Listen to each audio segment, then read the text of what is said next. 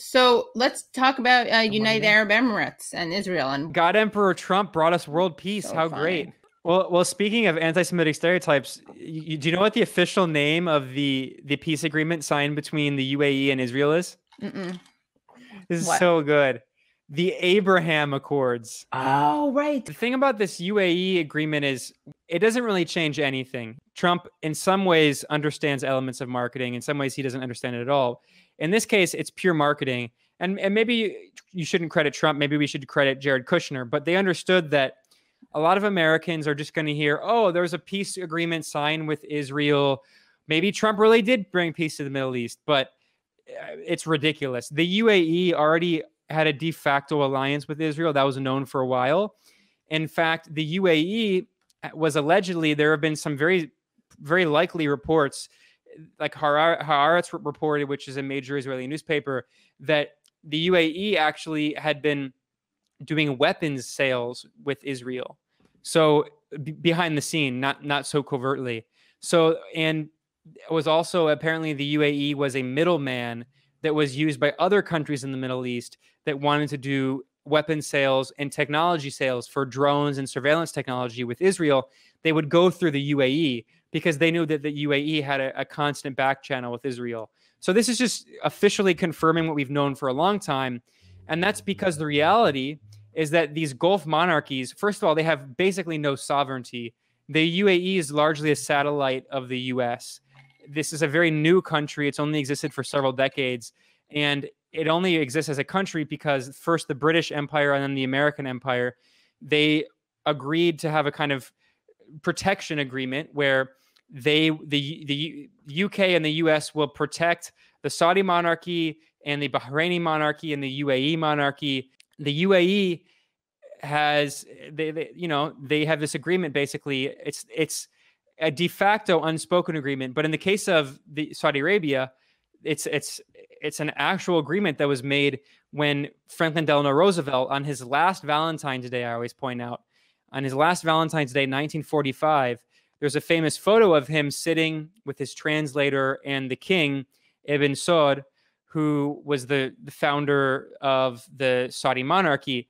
And the agreement was he he literally said this you can find this in the in the the state department declassified cables now the records from the state department uh, the of the record of the historian they acknowledged that there was an agreement made and the US said under FDR said we're going to protect you in return for your oil and that the UAE is a very similar i mean situation the UAE also has natural gas but and the UAE is a little more complex because the UAE is a, has several different monarchs that are kind of federated together. But the reality is that it, has no sovereignty. The UAE just does what the US and to a lesser extent Europe wanted to do.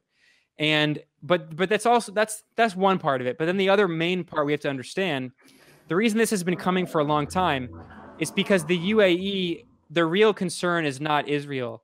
The real concern is what we can call the axis of resistance. That's what they call themselves, the resistance axis which would be the forces that that fight against U.S. imperialism and against Israel, which would be represented by Iran, Syria, to an extent Iraq and and Lebanese Hezbollah, and also the the Houthi movement in Yemen. And the Gulf monarchies are terrified of those groups because those groups represent the the only real threat in the region to overthrowing the the Gulf monarchies. So all this is this is marketing that Kushner he got his friends in the Gulf monarchies to sign some agreements on paper confirming what already had happened so they can try to help boost Trump for the election. I- don't think it's going to change anything at all. It's pure marketing. And this is true for Bahrain too. Also, we should keep in mind that Bahrain, so in, in terms of like the, the balance of power, Saudi Arabia is, is a in the region is quite powerful, but it's also largely an extension of US power. So they will only be able to do so much that they can't bite the hand that feeds them of the US. The US sometimes allows them to kind of, you know, have a longer leash and do what they want, but Bahrain has even less sovereignty because Bahrain is much smaller. Bahrain is right off the coast of Saudi Arabia. It's a tiny country, and Bahrain is largely controlled by Saudi Arabia, which is in turn controlled by the US. And what happened is that there were big protests in Bahrain during the so-called Arab Spring. People wonder why weren't there protests in the Gulf monarchies? There were, they were viciously, brutally repressed immediately. They weren't allowed to happen. And of course, in places like Libya and Syria, the US supported the protests, which is why they, they escalated into a civil war. The protests in Bahrain and Saudi Arabia were immediately crushed. And in Bahrain, the there's a situation where the, the population is split. And it's actually an example of of of like genetic engineering, but it's like it's like cultural engineering where in the recent past, the majority of the Bahraini population was Shia. And now what happened is that recently the the Bahraini monarchy, which is Sunni and and very closely influenced by the Wahhabi Saudi monarchy, which is a very extreme distortion of extremist Sunni Islam. It doesn't represent the majority of Sunnis. I'm not trying to say that I'm not trying to say that all Sunnis are extremists, but they represent a distortion of extremist Sunni Islam.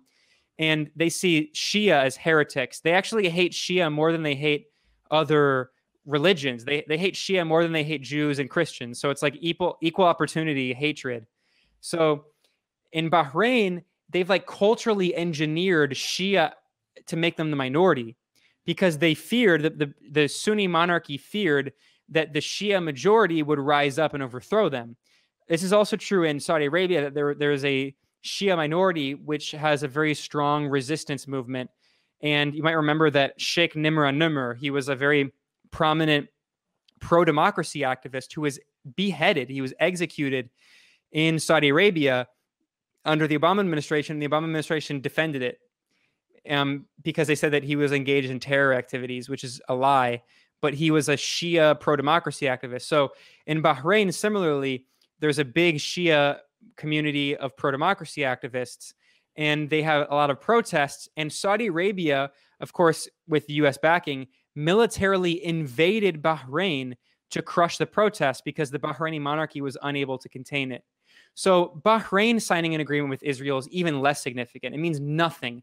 And it's widely suspected, and I think it's going to happen in the next few weeks before the election, on the eve of the election, Saudi Arabia is going to sign a peace agreement with Israel. It means nothing.